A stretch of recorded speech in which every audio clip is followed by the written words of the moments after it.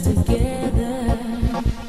Now to feel your lips on my fingertips, have to say is even better than I ever thought it could possibly be. It's perfect, it's passion, it's setting me free from all of my sadness, the tears.